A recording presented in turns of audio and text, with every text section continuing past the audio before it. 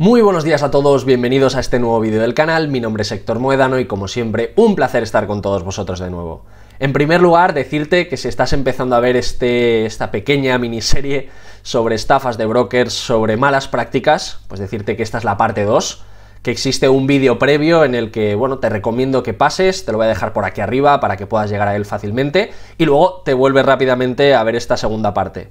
Más que nada porque va a haber conceptos que vas a entender, hay conceptos que creo que están muy bien explicados y que, bueno, te van a dar una base eh, lógica para entender el razonamiento que vamos a explicar en esta segunda, que, vamos, yo creo que sin duda a algunos de vosotros os va a sorprender. Eh, vamos a hablar de conceptos que no os van a contar por ahí, ni en cursos de bolsa, ni en libros, ni en ningún lado. Estas cosas, pues como os digo, una, alguien que ha trabajado pues, en, el lado oscuro, ¿no? que, que, suelo decir a veces un poco de broma, que ha trabajado en el mundo del brokerage, en algunos pues se suelen hacer unas prácticas bastante abusivas que por suerte los reguladores ya están tratando de evitar, pero que bueno, que, que al caso ¿no? de la publicidad que ha salido recientemente de invertir en acciones de Amazon, pues he querido compartir con vosotros. Como os digo, muchísimas gracias a todas las personas que habéis visto el primer vídeo, estamos ya cerca de las 5.000 visualizaciones, eh, ciento algo comentarios, bueno, pues por desgracia, eso lo que denota es que muchísima gente se ha visto tentada por esta publicidad, por estas, bueno, por estas cosas malas que a veces hacen determinadas empresas y lo que vamos a tratar de hacer con estos vídeos es tratar de evitarlo y darte pues un golpe de realidad que, bueno, como creo que ya intuías, pues nadie regala nada, no te vas a hacer multimillonario de invertir 200 euros, ni muchísimo menos, y, bueno, pues te voy a explicar cómo se hace y, cómo las empresas pues, suelen pillar a, clientes que son inexpertos, pero que con toda la buena fe pues se dejan un poco embaucar ¿no? por estos cantos de sirena de, de, grandes rentabilidades. Como os digo, si estás viendo este vídeo probablemente sea primero por curiosidad, pues porque te ha llegado publicidad similar, Segundo, pues porque te ha gustado, te ha salido en recomendados de YouTube, que por lo tanto pues te invito también y que en el caso de que te ocurra o que llegue esa publicidad de este estilo, la deseches completamente.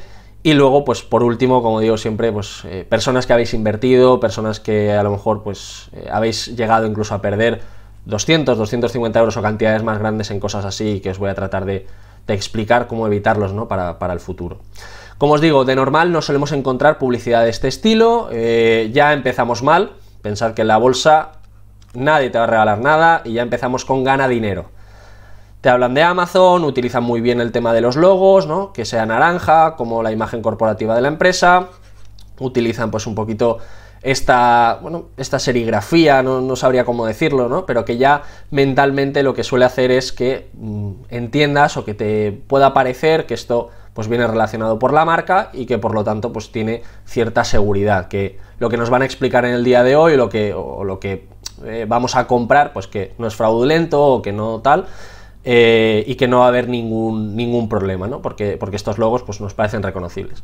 Como digo, no enseño ningún link, no voy a señalar a ninguna empresa, más que nada, pues porque, bueno, me parece... Eh, que tiene un componente también complejo en cuanto a nivel de, protección, ¿no? Es decir, mía personal en cuanto a decir, oye, yo no quiero señalar a ninguna empresa, yo lo que vengo a es a explicaros lo que pasa por detrás, creo que no me compete a mí, que compete pues a Comisión Nacional de Mercado de Valores de los países hacer este tipo de cosas y que bueno, que ojalá que desaparezcan, pero como digo, pues eh, por desgracia hay mucha información que no puedo enseñar, eh, el que le interese por privado ya sabéis que me podéis escribir, que me podéis preguntar, que tenéis el Twitter, el LinkedIn, eh, YouTube, los comentarios, lo que queráis. Pero bueno, que por un poco también de ley de protección de datos y de algunas cosas que he estado leyendo, pues no, no puedo enseñar o no puedo desvelar todas este tipo de cosas. Y desde aquí pues os pido un poco de disculpas por ese aspecto, ¿no? Y vamos a tratar de llegar aunque sea al límite para que no haya ningún problema ni, ni conmigo ni con estas empresas, ¿no? Porque, porque bueno, solo faltaba, ¿no? Que encima de, de estar Mm, destapando todos estos problemas, encima eh, te caiga un problema. Vale, bien, dicho esto, estas páginas suelen tener algo muy recurrente, ¿no? que es el tema de, que tú pongas una cantidad, le des a calcular y que automáticamente te, salgan las ganancias potenciales. Descubre tus ganancias potenciales a corto plazo, en máximo dos meses. Esto me parece una barbaridad. Me parece, vamos, que se está saltando test de idoneidad, test de conveniencia, ley MIFID, o sea, esto se lo está saltando, vamos, por, por todos lados. Aquí, sin ningún tipo de criterio, te multiplican por dos y te dicen que esto es lo que vas a ganar en dos meses. ¿Por qué? Pues porque aquí hay un Excel que multiplica por dos y te lo pone aquí. Esto es una barbaridad. Esto mm, lo único que está haciendo es que tú pues pongas ahí tu cantidad, le des a calcular y digas, ostras, ¿cuánto voy a ganar? Mentira, o sea, ya os digo ya que esto va a ser eh, un número tan, tan aleatorio que va a dar igual. Es que nadie, y encima en dos meses. ¿Por qué en dos meses y no en uno? ¿Y por qué no en tres? Bueno, para que veáis un poco que el criterio que hay detrás de estas páginas es nulo, inexistente y que lo único que está tratando de hacer es embaucar a gente que, quiere ganar 250 euros en, dos meses. Bueno, pues descartarlo, ¿vale? Eh, y como os digo, vuelven a utilizar algo inteligente en cuanto a marketing, que son los colores de Amazon, para que tú sigas pensando que tienes relación y que te sientas seguro con, los pasos que vas a realizar adelante, ¿vale? Aquí fijaros, invertir en Amazon, acciones de Amazon, esto es lo que me parece una barbaridad. Porque no se cortan a la hora de decir que son acciones. Ahora vamos a explicar en qué estamos invirtiendo. Pero no estoy comprando acciones. Y menos no voy a comprar acciones de Amazon que valen unos 3.000 dólares por 200. Me han llegado algunos comentarios relacionados con que si son acciones fraccionarias, olvidaros, estos son derivados financieros, punto final, ¿vale? Y de hecho, eh, os voy a desvelar también que eh, yo he dejado mis datos en una de estas páginas web, he dejado que me llamen, eh, tengo fragmentos de esas conversaciones eh, grabadas, pues porque me pareció interesante. Me he estado informando y sí que es verdad que no puedo compartirlo con vosotros, pero creo que os voy a dar o que voy a por lo menos transmitiros algún, algunas de las reflexiones que yo he sacado de todo esto y, y, desde el punto de vista de una persona que no controla nada del mercado financiero, lo más probable es que yo hubiese invertido, porque te lo revisten de tal forma, te esconden tantísimo en qué estás invirtiendo, que al final dices, bueno, pues no lo veo nada mal. Y esto es lo que vamos a tratar de desvelar en el día de hoy y, por qué, desde mi punto de vista, si eres un inversor eh, retail, pues te tienes que alejar de, todo esto, ¿no? Porque, vamos, al final no tiene ni pies ni cabeza. Aquí, pues nos, plantean, ¿no? Nueva publicidad en la cual, pues, nombre, apellido, email, teléfono, el teléfono es obviamente para que te llamen y que te aprieten aquí, es, es lo más importante, insistimos, los colores naranjas relacionados con Amazon, lo de siempre, y aquí nos hacen pues la típica reflexión en la cual pues busca un punto de dolor, que es la de eh, todas esas oportunidades pasadas en las cuales pues hemos podido ganar dinero y no lo hemos hecho pues porque no, pues porque no tuvimos tiempo, o porque no lo hicimos bien, o porque no sabíamos, y nos dicen que Amazon va a ser eh, pues esa empresa que nos va a sacar un poco de, de, la vida que tenemos, ¿no? Y nos vamos a hacer multimillonarios. Mentira. Y esto es lo importante, aquí es donde yo quería llegar y aquí es donde, pues bueno, aquí ya esto se empieza a desmoronar. Y nos explican, así pues, qué tiene que hacer si quiere invertir una pequeña cantidad en Amazon. Claro, porque yo ahora mismo estoy pensando, ostras, que Amazon vale 3.000 dólares. Y me están diciendo que con 200, 250 dólares ya puedo comprar algo. O sea, ya puedo comprar algo que vale como casi 15 veces más. ¿Cómo es posible? Y si una acción de Amazon cuesta más de 1.700 dólares. Como sabéis, bueno, esta publicidad Imaginaros desde cuándo está tratando de engañar a gente. 1.700 dólares. O sea, si está a 3.000, pues imaginaros, todo este periodo de tiempo, esta publicidad ha estado rodando por ahí y no se han molestado ni siquiera en actualizarlo. Pero bueno, dejando fuera inversores con menos capital. Pero hay una fórmula, ojo, una fórmula mágica que le permitirá invertir incluso desde tan solo 250 euros. Un reciente desarrollo de las plataformas de trading online en su búsqueda para aumentar su base de usuarios e inversores. Nos proporciona la capacidad de comprar eh, una fracción de cualquier acción mayor, como las de Amazon, Netflix, Disney, lo que sea. Esto no es ninguna fórmula mágica. Esto se llama derivado financiero. Y esto se llama apalancamiento. Aquí te lo vuelven a revestir de fracción, te lo vuelven a revestir de que estás comprando la acción, mentira. Ahora lo vamos a explicar, ¿vale? Esta palabra no es real, insisto. Héctor, ¿cómo lo sabes? ¿Cómo no es una acción fraccionaria? Os lo explico. Porque he llamado a estas empresas, he tenido la oportunidad de hablar con ellas, he tenido la oportunidad de eh, hacer preguntas eh, incómodas. Y al final, ¿cómo ha terminado esta conversación? Colgándome. Porque saben que una persona que entiende de mercados financieros jamás va a invertir en este tipo de cosas. ¿A quién van? Pues a aquella persona a la que le dices, yo quiero invertir en Amazon X dinero. Vale, perfecto, pase por aquí, regístrese, meta el dinero y piérdalo. Y no os perdáis el final del vídeo porque eh, creo que os va a sorprender un poco, pero bueno, esto lo, ahora, ahora lo veremos, ¿vale? Donde voy es que al principio entendáis que no estoy comprando una acción. ¿Qué es lo que estoy comprando? Estoy comprando un contrato por diferencias. Esto, como digo, en el vídeo anterior, en la parte 1, ya lo tenéis explicado, por eso os recomendaba que fueseis a verlo, que sepáis muy bien que es un contrato por diferencia, que es un instrumento, un derivado financiero que permite realizar operaciones sobre los movimientos de los precios. Ojo, sobre los movimientos de los precios no implica en ningún caso que yo esté comprando ese activo sin poseer el activo subyacente. Y vuelvo a insistir, ¿por qué no son acciones fraccionarias? Que me habéis puesto en los comentarios. Las acciones fraccionarias se deben de eh, guardar en algún banco, en alguna institución, es decir, eso son anotaciones, pero aquí no, aquí no hay ningún banco en el cual yo esté depositando esas acciones, esos activos que tengo. Esto se trata de un broker sencillito en el cual yo pongo dinero y lo que estoy comerciando es con él, contratos por diferencia.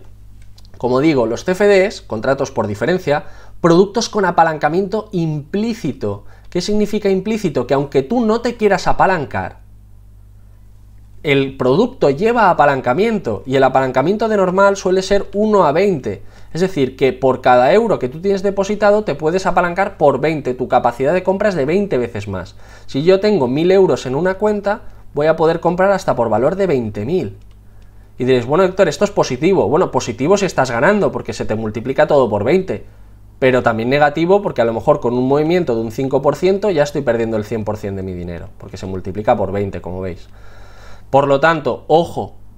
Y aquí esto es muy interesante porque la conversación que tuve con este, con este, con este broker o con estos comerciales o con quien fuera, eh, lo interesante es que era que me decían que un apalancamiento 1.20 era lo normal. No, perdona, lo normal, ¿no? Si es que esto en un test de conveniencia, de idoneidad de, cualquier entidad financiera regulada y, con las cosas bien explicadas y, bien hechas, ni siquiera te dejan casi ni apalancarte por dos.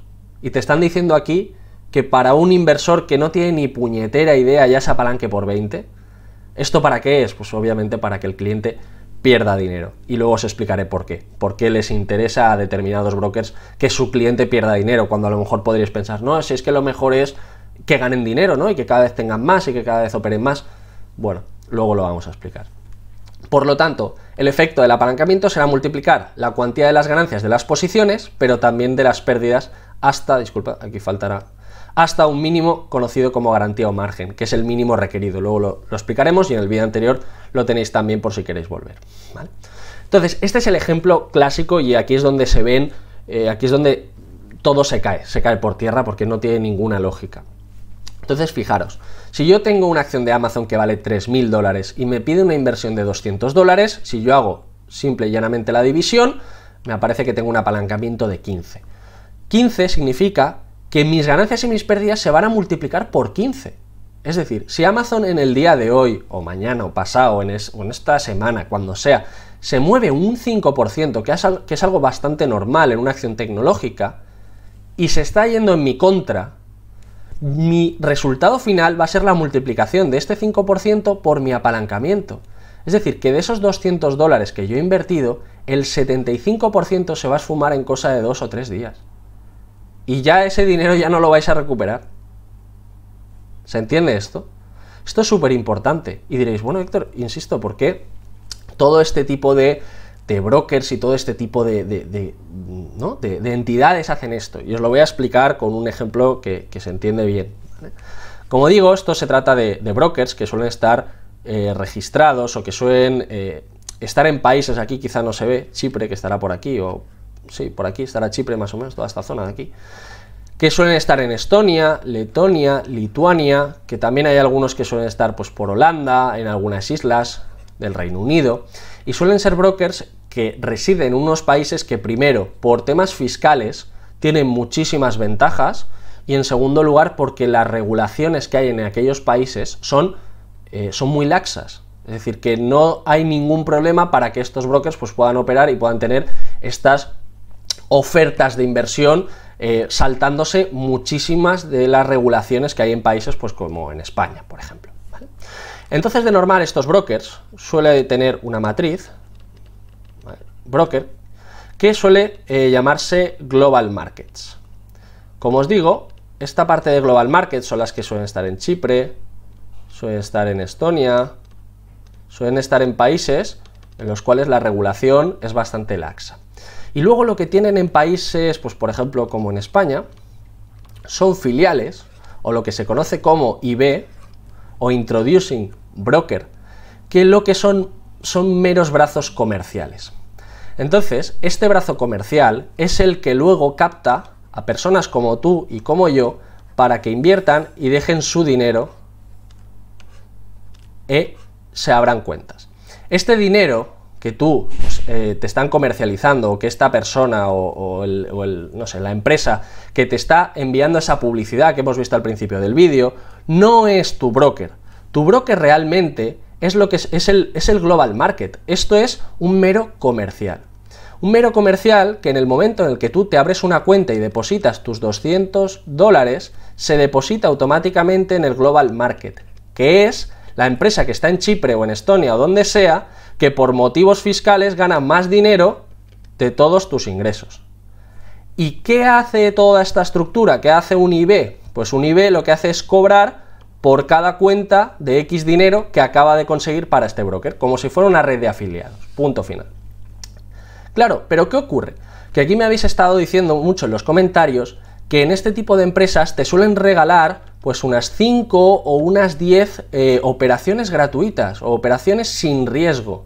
¿Qué significa esto? Existe un concepto en el cual, y vuelvo a insistir, yo esto lo sé porque he trabajado eh, viendo cosas de brokers que no me gustan mucho y porque conozco amigos del sector y porque tengo, pues, bueno, al final contactos en determinados sitios y hablando con ellos, pues puedo llegar a tener esta información, si no, no sería así. Estos brokers exigen que para que ellos paguen una comisión a sus comerciales de X cantidad, suele ser a lo mejor del 25-50%, es decir, de tus 200 dólares de ingreso, ellos le pagan a lo mejor 100 dólares a este broker o a este intermediario, a este eh, introducing broker, pero con una condición, tiene que existir un volumen mínimo negociado. Entonces, estos, que son muy listos, son los que te dicen, no, yo te regalo 5 posiciones o yo te regalo 10 operaciones o las que sean gratuitas, protegidas. ¿Para qué? Para que tú te sientas cómodo, hagas las operaciones y ellos puedan decirle al broker global, oye, mi cliente ya ha hecho las operaciones mínimas que aquí, me, que aquí me estás exigiendo para que yo pueda cobrar. Y en el momento en el que tú las haces, a lo mejor ellos sí que te devuelven el dinero, pero ese dinero de dónde viene? De las comisiones que se están llevando de tu depósito. ¿Veis un poco la estructura? Es decir, es bastante rebuscada, pero ni más ni menos. Tú depositas el dinero, no lo estás depositando ni muchísimo menos en la empresa de la persona que te está llamando, lo estás depositando en el Global Markets, que como digo estará en Chipre, Estonia o en cualquier país eh, con una tributación bajísima y con unas regulaciones para brokers eh, mínimas, este IB necesita que tú realices un mínimo de operaciones, por eso te llaman y te dicen que ahora es muy, muy buena opción para invertir aquí, para invertir allá, para que tú las hagas. Algunos lo rebuscan incluso más y te dicen que son operaciones gratuitas o operaciones sin riesgo para que tú las hagas. Ellos puedan verificarte a ti o activarte, que es la palabra que se utiliza un poco para engañar, pero ni estás activando ni nada, no estás haciendo ni muchísimo menos nada. Y lo que buscan es simplemente decirle a su global market, a aquella entidad que les va a pagar a ellos, que tú como cliente ya has activado esa cuenta, ya estás operativo y que por lo tanto les realicen el pago de esa comisión que han pactado previamente porque, por el hecho de que han conseguido que tú te abras una cuenta y estés operando. Pues esto es lo que hay detrás, ni más ni menos. Por eso os explicáis un poco el tema de que nunca te digan pues qué empresa es realmente, que te digan el tema de las operaciones, que te insistan para operar, y ahora es donde viene un poco eh, toda la clave. Y es decir, eh, ¿qué gana realmente un broker? ¿Creéis que un broker gana simplemente de las comisiones? Os lo voy a poner aquí. No. Y por si alguien no se ha enterado, se lo vuelvo a poner aquí. No. ¿De qué gana dinero un broker? Pues muy sencillo, gana... Bueno, primero dejadme, dejadme que voy a explicar una cosa previa, pero que lo vais a entender. Existen distintos tipos de brokers. Unos son lo que se conoce como market maker. Los segundos, STP, y los terceros, ECN.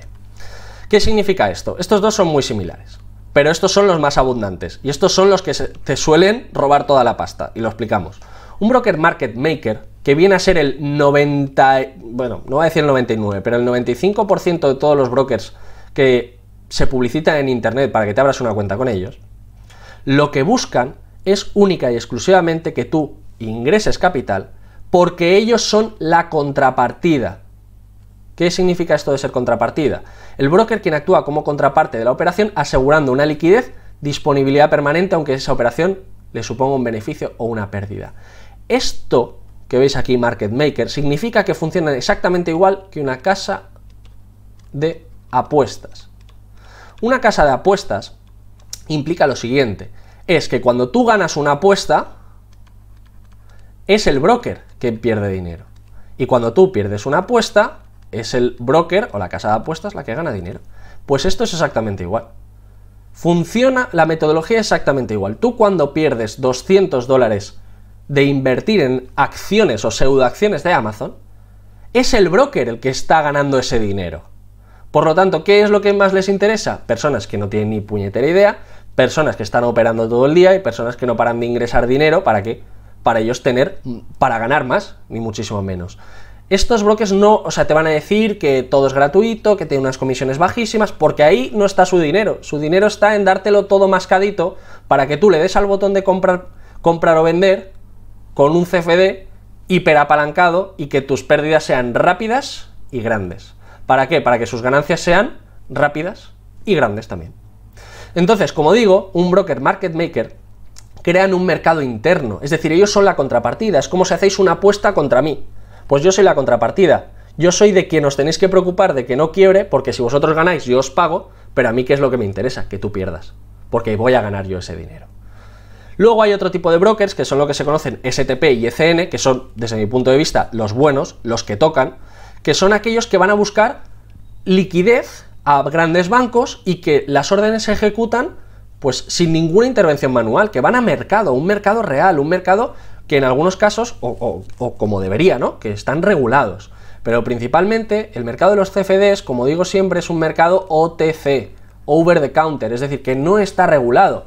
Por lo tanto, si a ti un día te dicen que has perdido 300 dólares o 300 euros en acciones de Amazon, eso es un contrato privado que tienes tú con un broker que a saber dónde está. Por lo tanto, ¿a quién te vas a quejar? No, ese dinero no te lo van a devolver. Sin embargo, si tú estás invirtiendo con un broker STP o con un broker ECN comprando acciones de verdad del Santander y esa acción del Santander no ha tocado el precio que a ti te están diciendo, tú puedes ir perfectamente al gráfico del BME, a la oficina de protección del consumidor del BME y decir, hola, buenos días, esta operación no está bien, no está bien liquidada no está bien hecha. Por lo tanto, devuélvanme mi dinero. Y probablemente te lo devuelvan en un plazo de unos 15 días. Pero en este caso, no. ¿Entendéis un poco todo el concepto?